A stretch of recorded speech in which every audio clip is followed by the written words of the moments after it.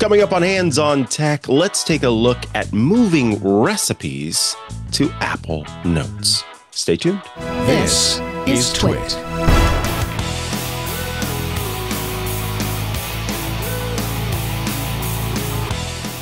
Hello and welcome to Hands on Tech, or welcome back if you've been here before. Thank you for joining me this week. Uh, this week, we have a question that's come in from Wayne. Wayne writes in to say, I've been using notes on my iPhone that syncs to the Mac to copy recipes from Apple News, etc. The plan was to use BBEdit to copy slash reformat the recipes into HTML using a template that I have. Obviously, I'm way behind. I was figuring I could use Automator to copy the title to the top of the HTML template, copy the ingredient list to below the first table, and the direction list to the middle HTML direction list. As things turn out, Automator doesn't access notes. Sigh. So uh, Wayne says, any thoughts? All right. So when it comes to sort of getting these notes into your uh, into your rather getting these recipes into your notes app right? There are obviously multiple ways to do this. You can simply just hit the share sheet tap on the notes app and boom uh, that information will be posted into a, a new note. But it sounds like what you're trying to do is format these recipes as you keep them stored in the notes app and you were kind of using BB Edit as a go-between right to to make this happen. I think there's a better go-between when it comes to organizing and storing your recipes. And that is an app that is purpose built to format recipes. And the good news is there are many options out there.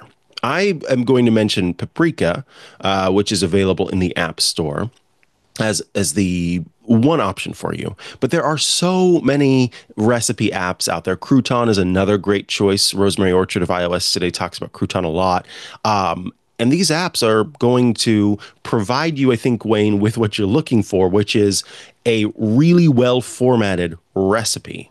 So Wayne, you mentioned Apple News. Uh, this is actually a relatively new, uh, very new feature in Apple News that now there are uh, very sort of sort of perfectly crafted, uh, specifically built for Apple News recipes. So there's a whole new kind of section segment of Apple News that involves recipes. So you've probably gone on there, found some that you are really into, want to check out, and you have added them uh, to your Notes app.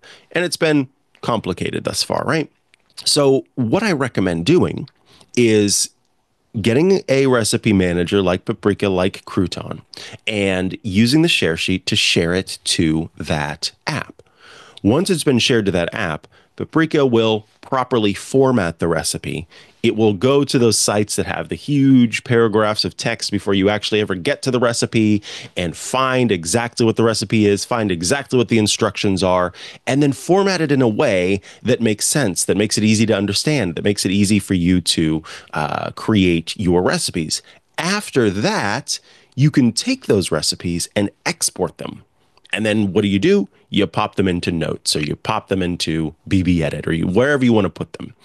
And by doing it that way, you are getting a much better experience of, of getting those formatted exactly how anyone would expect a recipe to be formatted in the first place. Uh, the good news is Paprika is available also on the Mac, so you can pull it up on Mac OS if you prefer to do it that way, and it syncs with iOS, so you pop that recipe from Apple News into Paprika on your iPhone. Your iPhone syncs with your Mac. It syncs with Windows. It syncs with Android, wherever you are. And then you can pull it up on your Mac and put it wherever it is that you're looking to put it. So, this I think is going to be a much easier process than trying to use BBEdit to reformat the recipes in a way that you want them. Um, and then also, the app has a great printing feature that lets you create PDFs of your recipes or to actually print them out. And it does it in the format of, uh, you know, a, a normal size US letter piece of paper or in little index cards.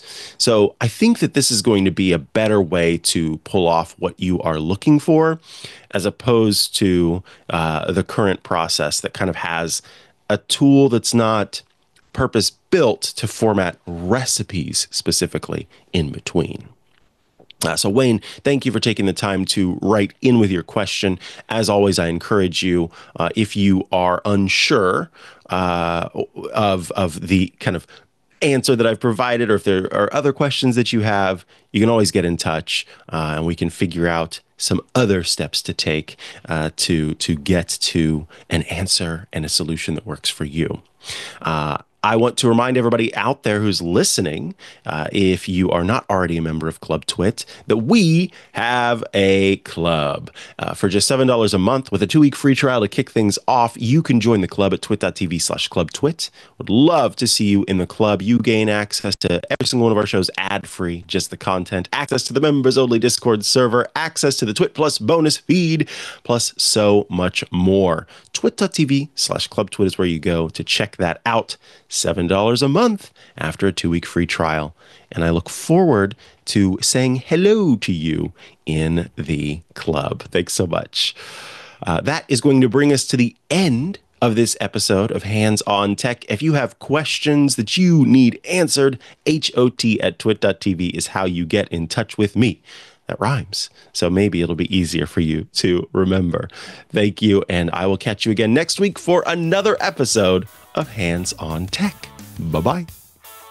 Business leaders need clear insights into both the Apple and Microsoft ecosystems to stay competitive. That's why we provide expert led coverage on both. With Twit's Mac Break Weekly, iOS Today, and Hands on Mac, you'll get the latest Apple updates, productivity tips, and innovation insights.